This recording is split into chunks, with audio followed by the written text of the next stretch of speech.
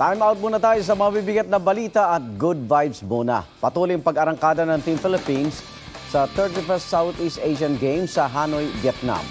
Para sa bilang ng medalya ng Pilipinas, darito ang unang balita.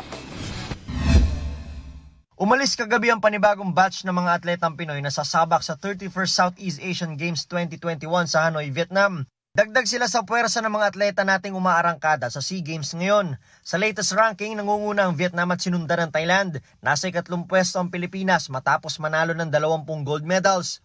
Kabilang dyan ang tatlong golds ni Pinoy World Gymnast Carlos Yulo matapos manaig sa artistic gymnastics men all-around, floor exercise at steel rings.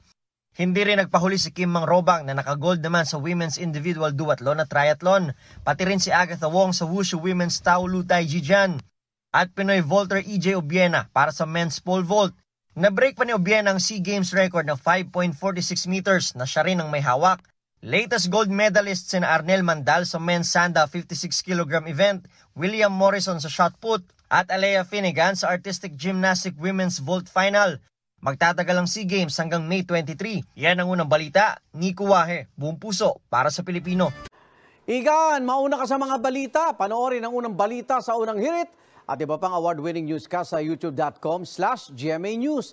I-click lang ang subscribe button. At sa mga kapuso abroad, maaari kaming masubaybayan sa GMA Pinoy TV at www.gmanews.tv.